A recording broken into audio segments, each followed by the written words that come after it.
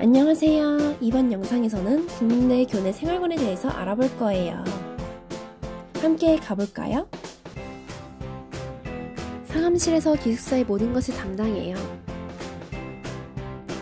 생활관에도 편의점이 있어요. 무인 편의점이랍니다. 카드키를 찍고 들어가야 해요.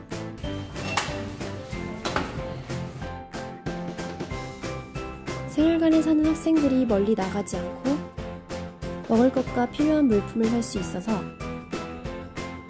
정말 편할 것 같아요.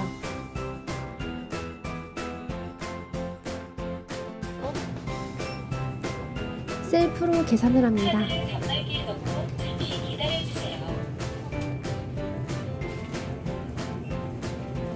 정상 결제되었습니다. 택배실에서 개인 택배를 받을 수 있어요.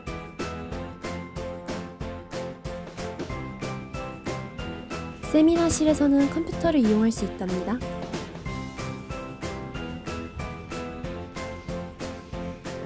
프린터기도 있어서 출력도 바로 할 수 있어요. 세탁실에는 코인 세탁기가 있어요. 아무래도 요금이 있기 때문에 웬만하면 옷을 한 번에 모아서 빨아요.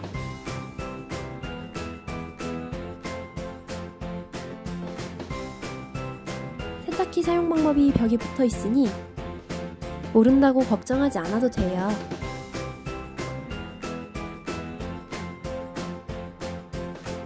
생활관 3층에는 체력 단련실도 있어요. 가볍게 운동하고 싶은 학생들에게 딱이에요. 너무 무리하진 말아요.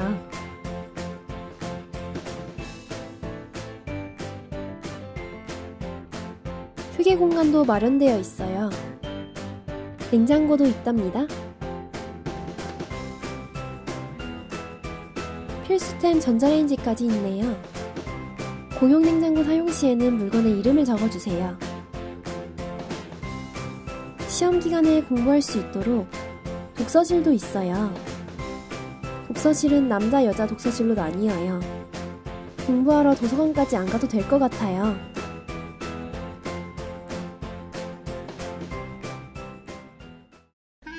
현관문을 열면 햇빛이 환하게. 방 내부에 들어오면 양옆에 세면대가 있어요. 화장실이 분리 형태로 되어 있어서 편해요. 바쁜 아침 화장실 사용이 겹치지 않아서 좋아요. 4개의 책상 2층 침대 2개로 구성되어 있어요. 책상에는 넓은 책꽂이가 있어요.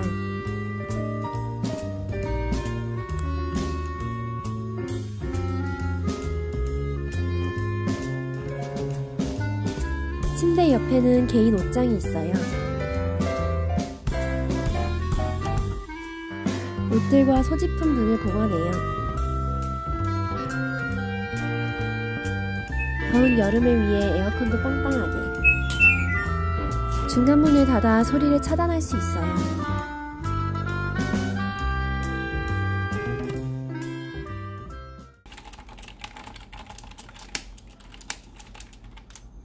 현재 기숙사에 살고 계신 지 얼마나 되셨나요? 기숙사에 산지 1학년 때부터 지금 4학년까지 3년째, 2년 반째 거주하고 있습니다. 그럼 기숙사에 빠삭하게 되게 잘 알고 계시겠네요. 그럼요, 기숙사 제가 제일 잘 알죠.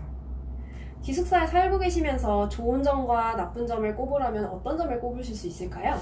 기숙사에 살면서 가장 좋은 점, 저는 지금 교내 기숙사에 살고 있는데 가장 좋은 점은 5분 전에 일어나도 지각하지 않는다는 거. 그리고 또 좋은 점 밥이 맛있다는 거. 바로 기숙사식을 먹을 수 있다는 교내 기숙사의 장점입니다. 그리고 단점은 아무래도 4명이 살아요. 지금 여기 하나, 둘, 반대편도 하나, 둘 이렇게 있는데 총 4명이 살듯이 개인 공간이 적다는 점. 그래서 아무래도 사생활이 없다는 거? 모든 룸메들과 거의 다 공유하는 경우가 많고 대신에 그 룸메들과 친해지면은 더 재밌게 생활할 수 있는 장점이 있습니다. 국민대학교 기숙사는 정교 학기뿐만 아니라 방학 동안에도 살 수 있다는 장점이 있어요. 그리고 만약에 룸메를 신청하면은 그 자리 그대로 계속 1년 내내 잘하면 은 4년 내내 쓸 수 있습니다. 진짜요? 네! 오. 기숙사 같은 경우에는 매주 월요일마다 점호가 있어요. 그래서 점호에 꼭 참여를 하는데 그 점호를 하기 전에 청소를 무조건 해야 돼요. 깨끗이. 청소하는 구역은 개인 자리랑 그리고 개인적으로 1번, 2번, 3번, 4번 정해진 자리대로 청소를 해야 합니다. 1번 같은 경우에는 변기 쪽 화장실, 2번 같은 경우에는 변기 쪽에 있는 세면대, 3번은 반대쪽 세면대, 4번은 샤워실입니다. 입시를 하는 경우에는 생활관 종합정보 시스템에 들어가서 거기에 생활관 란이 있어요. 그 중에서 입시 신청 하면은 무슨 어디 기른 기숙사, 정릉 기숙사, 정릉 제2기숙사, 교내 기숙사 이렇게 있는데 교내 기숙사 자, 자기가 본인이 살고 싶은 기숙사 누른 다음 신청을 하면 끝입니다. 그리고 돈 같은 경우에는 합격 전화를 받아요. 또는 합격했다고 이렇게 떠요. 몇 동 몇 호인지. 그 다음에 돈 같은 경우는 거기에 고지서가 있는데 그 고지서 등록금 내듯이 내면 됩니다. 그리고 입시를 할 때는 들어와가지고 그 사감실에 가서 등록을 하면은 척척척척 다 알려지니까 무리가 없죠.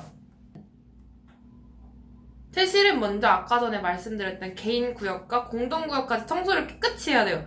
이게 엄청 깨끗이 해야 돼요. 왜냐하면은 우리가 나가고 다른 학생들이 들어오잖아요. 내 자리에 사- 내 자리에 다른 학생이 살게 되니까 내가 살 거라는 생각으로 똑같이 깨끗이 이렇게 해줘야 합니다. 퇴실도 마찬가지로 기숙사 사감실 가가지고 신청을 하면은 청소 검사를 받고 키 반납하고 매트리스 키트도 반납하고 하면은 마무리가 됩니다. 이상 국민대학교 교내 생활관에 대한 모든 것이었습니다.